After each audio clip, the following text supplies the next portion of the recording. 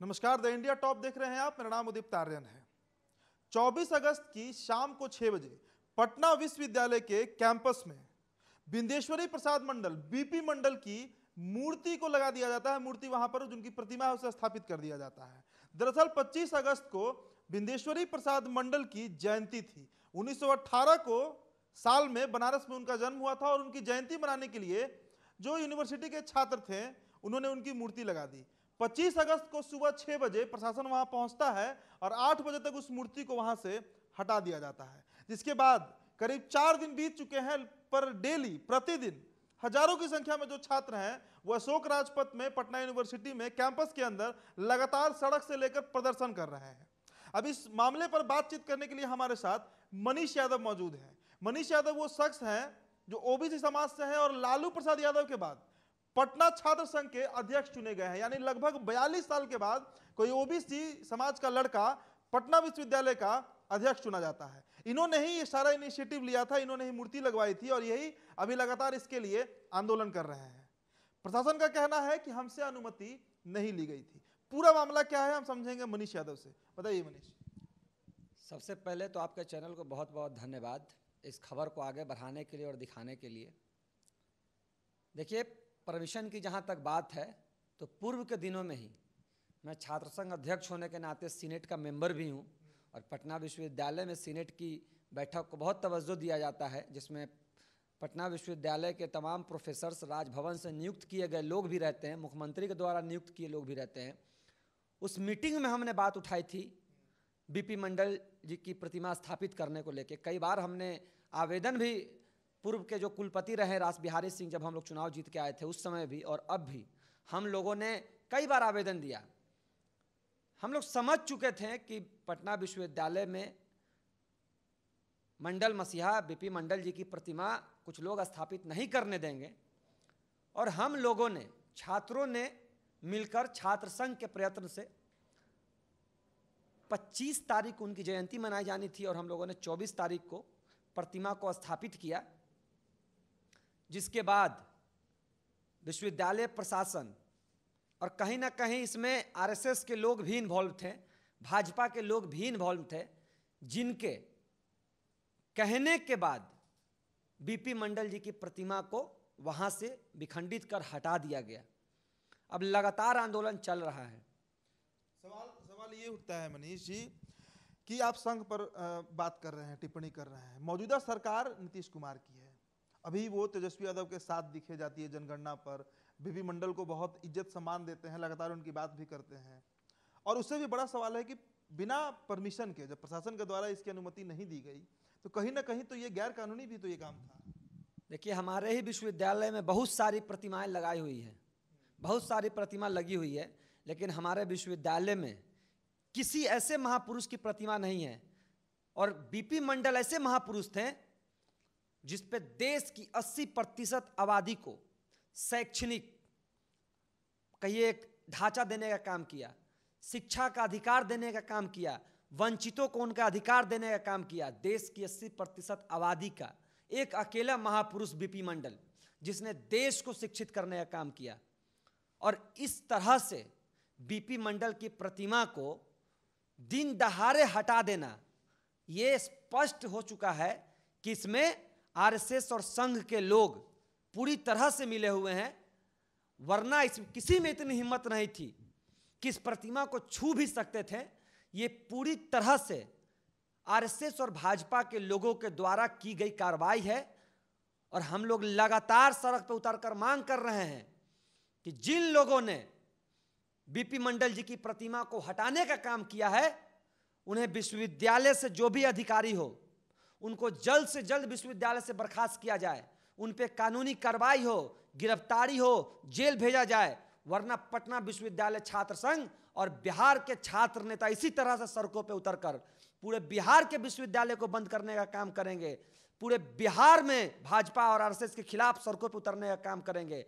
80 प्रतिशत पिछड़ों की आवाज़, बीपी मंडल जी, जिसकी वजह से विश्वविद्यालय के कुलपति बिहार के मुख्यमंत्री, बिहार के नेता प्रतिपक्ष श्री तेजस्वी यादव जी और अन्य ओबीसी नेता, सभी आज उसी बीपी मंडल जी की देन है कि इस प्रमुख पद पर बैठे हुए हैं। लेकिन आज देश के लगभग 22 से 23 कैबिनेट मिनिस्टर ओबीसी लेकिन किसी ने मुँह खोलने की ज़रूरत नहीं की। बिहार के लगभग ओबीसी विधायक और सांसद, लेकिन किसी ने मुँह खोलने की ज़रूरत नहीं की। हम उन सभी से पूछना चाहेंगे कि आप बीपी मंडल के योगदान को क्या इस देश में भूल चुके हैं? क्या बीपी मंडल, आदरणीय श्री लालू प्रसाद यादव जी के कहीं ना कहीं सिद्धांत बीपी मंडल जी से जुड़ा हुआ जुड़ा हुआ है? उनके विचारों पर लालू प्रसाद यादव जी ने राजनीति की, जिसके विचारों को आज तेजस्वी यादव सहेज रहे हैं। लेकिन फिर भी आज तेजस्वी यादव जी चुप हैं। आप क्यों चुप हैं? हम आग्रह करते हैं। हम माननीय नीतीश कुमार जी से भी कहना चाहेंगे कि आप क्यों संज्ञान नहीं ले रहे हैं अभी तक जिन्होंने उनकी मूर्ति को तोड़ के हटाया है? आप संज्ञान लीजिए। बीपी मंडल की आप कहीं ना कहीं विचारों की बात करते हैं, उनके सिद्धांतों की बात करते हैं और जब आज जयंती के दिन बीपी मंडल की प्रतिमा को हटा दिया गया तो आपकी चुप्पी ये ज़ाहिर करती है कि आप भी संघ के साथ मिले हुए हैं। सवाल यहाँ पर ये उठता है, आप तेजस्वी यादव का नाम ले रहे हैं। आप जिस पार्टी से आते हैं, जाप, जन अधिकार पार्टी उसके जो प्रमुख हैं, पप्पू यादव, फ़िलहाल जेल में हैं। जब तेजस्वी यादव उनकी गिरफ्तारी के समय चुप रहे हैं, कुछ नहीं बोले तो ये बीपी मंडल के मुद्दे पर वो कैसे बोलेंगे? उनकी अपनी भी तो राजनीति है। बीपी मंडल, देश, मैंने आपको बताया तो कि देश में आज सत्ताईस परसेंट पिछड़ों को जो अधिकार मिला। बीपी मंडल कोई राजनेता से पहले अब उनको महापुरुष कहा जाएगा। बीपी मंडल उसी पटना विश्वविद्यालय के छात्र रहे। बीपी मंडल बिहार के पूर्व मुख्यमंत्री रहे। बीपी मंडल ने मंडल कमीशन लागू कर देश के 80 प्रतिशत आबादी को अधिकार दिया था आगे बढ़ने का। पिछड़े समाज को आगे बढ़ कहीं ना कहीं नेतृत्व करने का अधिकार दिया था। उस बीपी मंडल की हम बात कर रहे हैं। राजनीतिक लड़ाई अपनी जगह है, लेकिन बीपी मंडल के सिद्धांतों पर आदरणीय श्री लालू प्रसाद यादव जी ने चलने का काम किया।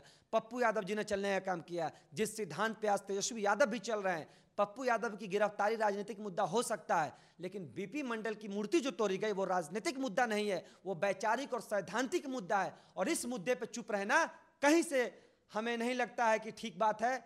आदरणीय श्री तेजस्वी यादव जी से हम कहना चाहेंगे कि इनके विचारों को आज हम लोग पढ़ने का काम करते हैं। पटना विश्वविद्यालय के ये छात्र हैं, उसी पटना विश्वविद्यालय में बीपी मंडल की प्रतिमा क्यों स्थापित नहीं होनी चाहिए? आप उनके जयंती के दिन माल्यार्पण करते हैं। आप उनके विचारों की बात अपनी रैलियों में करते हैं। विधानसभा चुनाव में आपने उनकी बात कही है, उनका नाम लिया है और आज फिर इतना बड़ा हादसा बिहार के सबसे बड़े विश्वविद्यालय, पटना विश्वविद्यालय में उनकी मूर्ति तोड़कर हटा दी गई।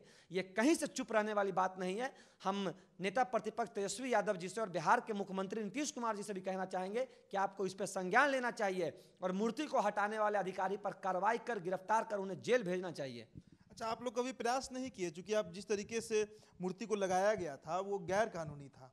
प्रशासन का यही कहना है। प्रशासन के द्वारा जो बात कही जा रही है कि भाई, ना इसका परमिशन लिया गया और इसका ना तो अनुमति दिया गया। तो आप लोगों ने कभी प्रयास नहीं किया कि उसका परमिशन लिया जाए? देखिए, हमने आपको कहा कि विश्वविद्यालय में सीनेट और सिंडिकेट की बैठक सबसे सर्वोपरि मानी जाती है, जिसमें पूरे विश्वविद्यालय के जितने भी प्रोफेसर रजिस्ट्रार डीन जितने भी लोग होते हैं, यहाँ तक कि छात्र भी उसमें सम्मिलित होते हैं। उस सीनेट की बैठक का मैं खुद सदस्य भी हूँ और उस बैठक में हम लोगों ने लगातार अगले दिन अखबार में भी छपा था इस बात को लेकर, लेकिन वहाँ से इसको इग्नोर कर दिया गया। हमारी बातों को बैठक से इग्नोर करना हम लोग समझ चुके थे कि जो विश्वविद्यालय का माहौल है, विश्वविद्यालय में अराजकता फैलाने के लिए वैसे लोग भी नॉमिनेट नॉमिनेट होकर आते हैं, जो अधिकारी और पदाधिकारी हैं, जिसे आरएसएस और भाजपा नॉमिनेट कर भेजती है। हम समझ चुके थे कि इन लोगों की वजह से बीपी मंडल, आप भी जानते हैं, पिछड़ों के कल्याण के लिए जाने जाते हैं, ओबीसी आरक्षण के लिए जाने जाते हैं, मंडल कमीशन के लिए जाने जाते हैं इसलिए हम समझ चुके थे कि इनके सिद्धांतों को कभी भी मानने वाले जो लोग आज अधिकारी बैठे हुए जिन्होंने मूर्ति तुरवाई है, वो लोग नहीं मानने वाले थे। हम लोगों ने अपने प्रयत्न से इस मूर्ति को स्थापित करने का काम किया, उनको मान सम्मान देने का काम किया, उनकी जयंती पर उनको माल्यार्पण करने का काम किया। लेकिन जिस तरह से आरएसएस और भाजपा के इशारे पे उनके बैठे हुए लोग विश्वविद्यालय में इस मूर्ति को हटाकर विखंडित करने का काम किए उन्हें हम लगातार मुँह तोड़ जवाब दे रहे हैं अपने आंदोलन से। हम लोगों ने स्पष्ट कर दिया है, आगे हम लोग राजभवन जा रहे हैं, आगे हम लोग सिग्नेचर कैंपेन चलाने जा रहे हैं विश्वविद्यालय में और लगातार जितने भी पक्ष और विपक्ष में ओबीसी नेता, सांसद और मंत्री और विधायक बैठे हुए हैं, हम लोग उनके पास ज्ञापन और मेमोरेंडम के ज़रिए बात रखने जा रहे हैं कि आप सरकार से कहिए कि मूर्ति को पुनः उसी जगह पर स्थापित करे, जहाँ से इस मूर्ति को हटाया गया था, वरना पूरे बिहार में विद्रोह होगा और कल अन्य दल के लोग भी, अन्य संगठन के लोग भी सड़कों पर उतरने जा रहे हैं। सभी पार्टियाँ एकजुट होकर ओबीसी लोग एकजुट होकर बीपी मंडल के साथ बीपी मंडल की प्रतिमा को पुनः स्थापित करने की मांग कर रही है। तो एक तरफ़ उत्तर प्रदेश में जिस तरीके से मुकेश सहनी का मूर्ति का विवाद हुआ, फूलन देवी के मूर्ति को लेकर पहुँचे थे स्थापित करने के लिए, योगी सरकार उन्हें रोक लेती है। दूसरी तरफ़ बिहार में बीपी मंडल की मूर्ति स्थापित कर दी जाती है उनकी जयंती के पूर्व संध्या को। और जयंती की सुबह सुबह प्रशासन पहुँचती है और उस मूर्ति को हटा देती है। इसके चलते लगातार विद्रोह, लगातार आंदोलन चल रहा है। मनीष यादव का पक्ष आपने सुन लिया। हमारा यह प्रयास रहेगा कि निखिल मंडल जो है, जो कि बीबी मंडल के पोते लगते हैं, उनसे भी बात कर सके ताकि उनका पक्ष भी जाना जा सके। क्योंकि जो सत्तारूढ़ दल है, उसके वो प्रवक्ता हैं। तब तक के लिए आप बने रहिए द इंडिया टॉप के साथ। चैनल को सब्सक्राइब कर लीजिएगा। वीडियो अगर हमारे फेसबुक पेज पर देखें तो हमारे पेज को लाइक फॉलो करें। इस वीडियो को शेयर करें और खबरों को विस्तार से पढ़ने के लिए the India top dot com पर आप जा सकते हैं। धन्यवाद।